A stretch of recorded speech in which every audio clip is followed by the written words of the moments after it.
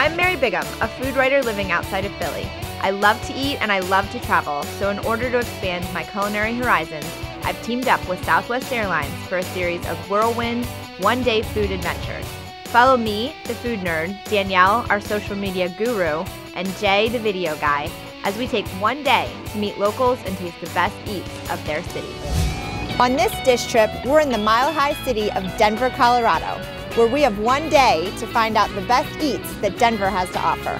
To thank our hosts, the Dish Trip team spreads a bit of Philly love by giving away tasty Philly food gifts.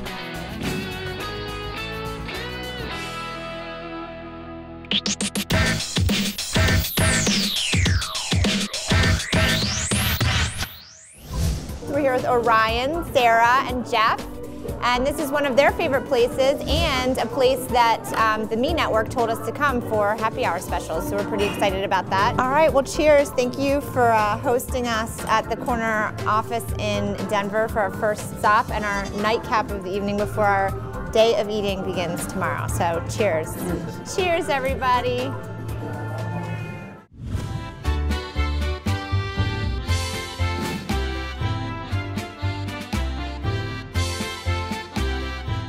I got you here on the 16th floor, and would you like Thanks. a warm DoubleTree chocolate chip cookie? I would love one. Absolutely. So tell us a little bit about what makes the Curtis Hotel unique. Sure. Um, funky, cool, and playful. So um, it's basically all of that wrapped up into 336 guest rooms, uh, 13 themed floors. So we actually let our guests, when they check in, choose the floor that they want to stay Oh, on. really? So whether it's the big hair floor, the sci-fi floor, 13th floor is called the dun dun dun floor. Right, and no, normally uh, hotels don't have a 13th floor. That is correct. and the coolest part is when you get here, you get a warm cookie. you do get a warm cookie So it's food related, quirky, and cool.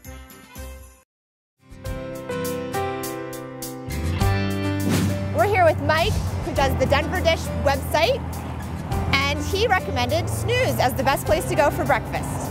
Welcome to Denver. Let's eat.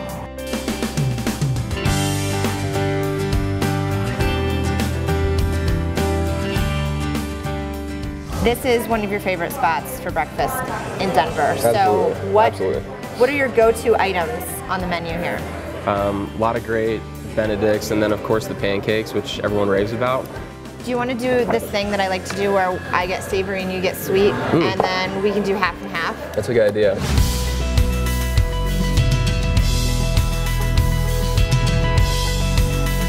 And the guys are so cool. And here it is. You can put the Benedict in front of this girl.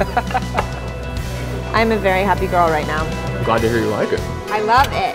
Well, how about a new signature uh, mimosa or Bloody Mary to wash this all down with? That sounds awesome. Yeah? that'd be cool. All right, cheers. Thank you so much for meeting me this morning and Absolutely. showing me your favorite um, taste of Denver. Thanks for joining us.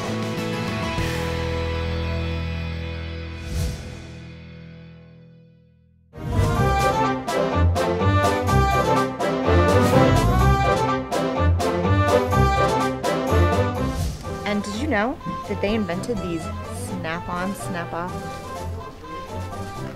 shirts? Man, you know if someone walked in with this boot to play poker, you'd be in trouble. That is hardcore. This is hardcore cowboy. How you like them apples? I like this shirt right here. Cheers to Denver.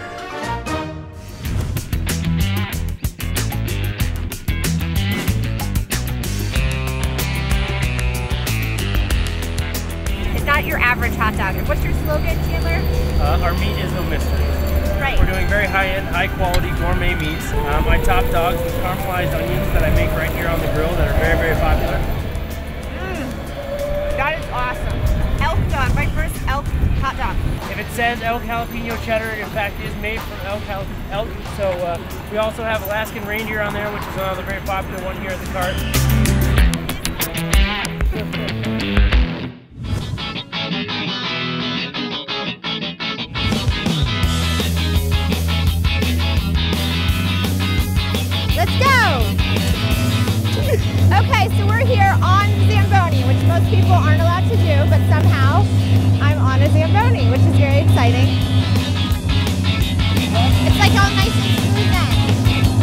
Feel like it melts it a little bit.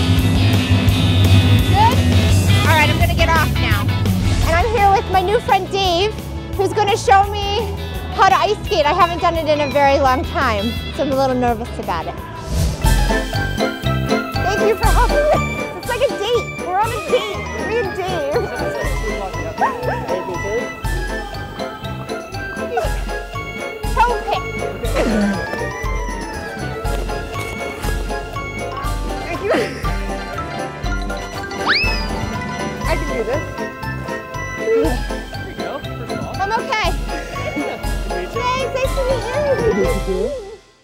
So in an effort to warm up after our ice skating adventure, we're at the, the, the southwest porch at Skyline Park.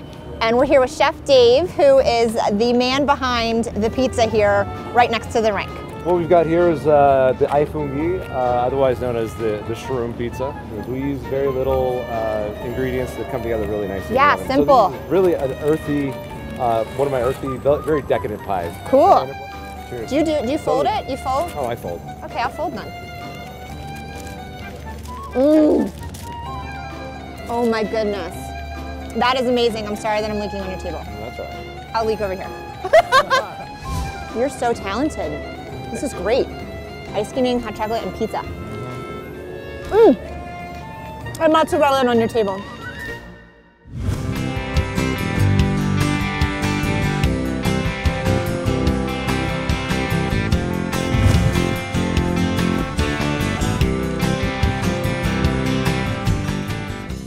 At the Colt and Gray to meet with Kevin to turn a beer into a cocktail. So one of my favorite beers back home in Philly is Prima Pils, and I heard from a bird that you do something really cool with it.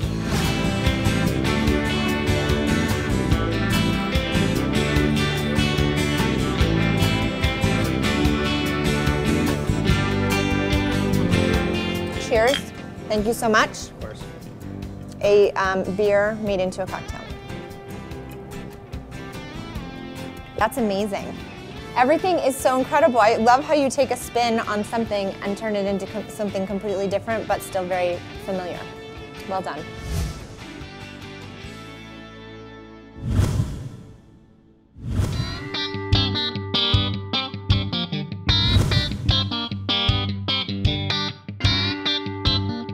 So I'm excited to try two things that of course everyone says that they need to try when they come here and that would be the Rocky Mountain oysters.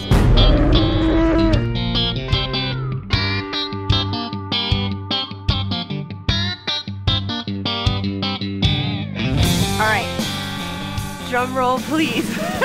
okay, here I go.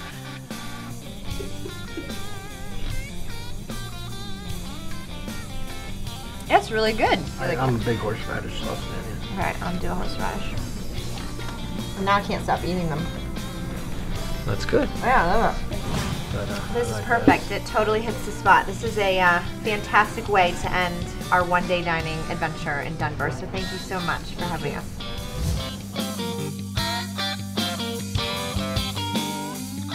We're on the way back to the airport from a successful one day dining adventure in Denver, Colorado. We met some fabulous people and enjoyed an amazing city, and I'm very, very full. Stay tuned for the next dish trip and follow us on dishtrip.com.